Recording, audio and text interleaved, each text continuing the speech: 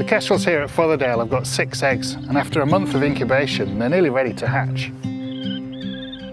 But the kestrels haven't had it easy, fighting off a whole host of threats.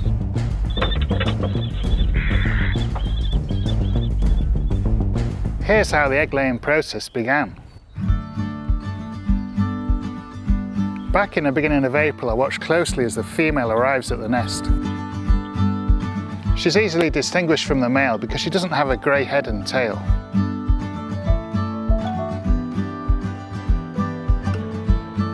She begins to nest scrape, a sign she's preparing for eggs. Kestrels don't collect nest material, instead forming a shallow depression in which to lay.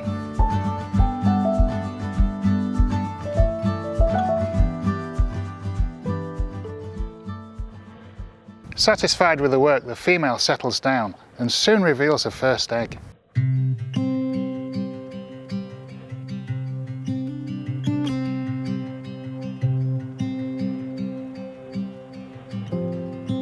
She takes a look at the egg before briefly sitting on it. Full incubation won't start until the clutch is almost complete. An hour later, the female has a visitor. Her mate arrives with a lizard for her.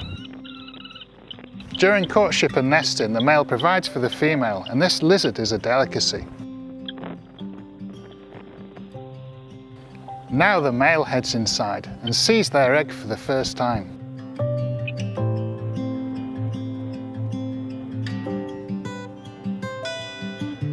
He checks it over with his beak and then takes his turn in the nest.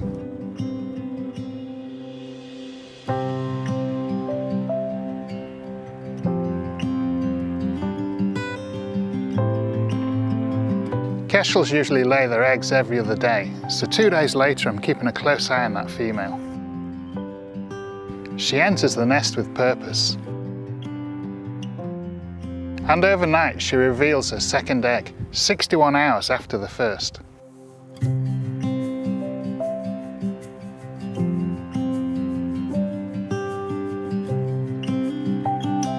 She's exhausted from laying and quickly falls to sleep but soon gets an unwanted visitor. A barn owl takes a peek, but is quickly frightened off by the protective female. During the spring, nest sites are in high demand, so it's not only barn owls she needs to look out for. In the morning, a jackdaw arrives. It's after this nest too.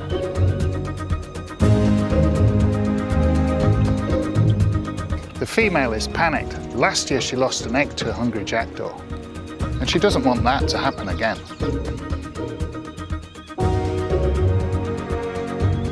Just in time, the male kestrel comes to the rescue, scaring it off. The eggs are safer now, and soon two become three.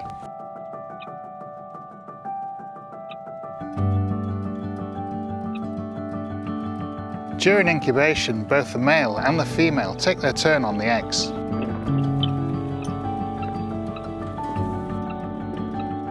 But the male doesn't forget his duties, providing for his mate.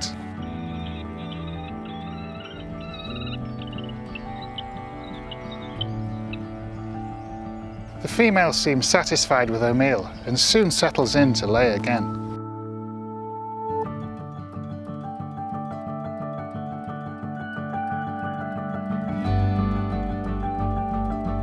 Her feathers ruffle up and her breathing becomes heavy, all signs she's going to produce another egg. But she senses a threat and begins to call out in distress. The jackdaw is back. And it's got company. This time the female scares them away single-handed. With the jackdaws gone, she settles down again. And a couple of hours later, she reveals a fourth egg.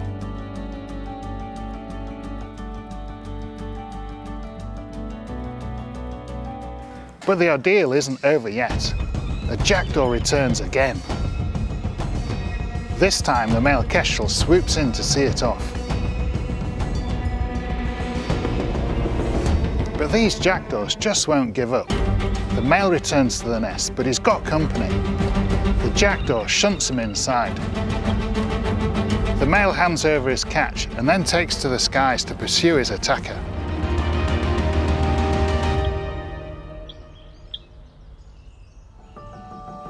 But despite the drama, the kestrel's clutch grows again. A sixth egg to complete the clutch.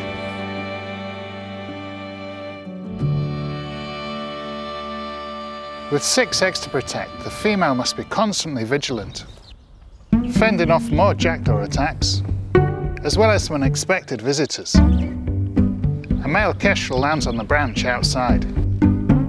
But this isn't her mate. It's the young male from Ashwood, still on a hunt for a nest site. But it's quickly seen off by the defensive female. There are no attacks the next day and I'm beginning to think the jackdaws had given up. But then I wake up to shocking scenes inside the nest. The female kestrel is gripping tightly to a jackdaw. My cameras haven't recorded overnight due to a power cut, but I can only assume they had a dramatic battle inside the nest. Both birds are obviously exhausted from the fight, breathing heavily, and the kestrel's face is covered in blood. Eventually the stalemate ends as both birds scramble for the exit.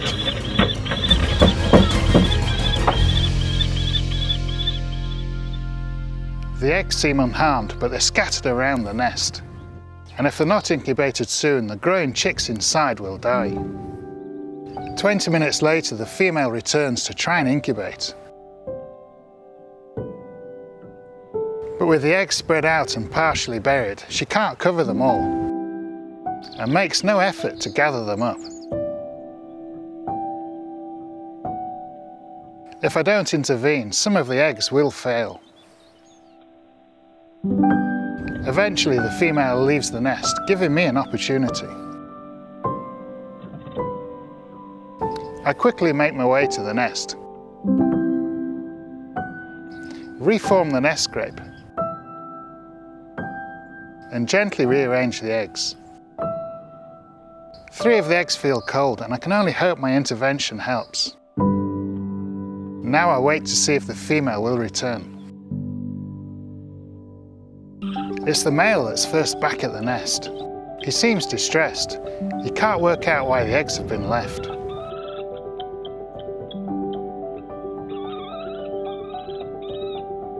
But finally, the female returns.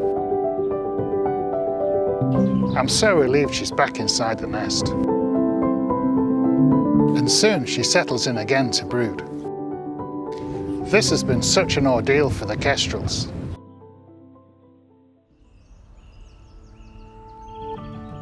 Laying and brooding six eggs is tough enough. The female has laid half her body weight in eggs. But doing this in the face of constant attacks just shows how hardy these birds have to be. Now the kestrel eggs are ready to hatch and I can't wait to watch every moment.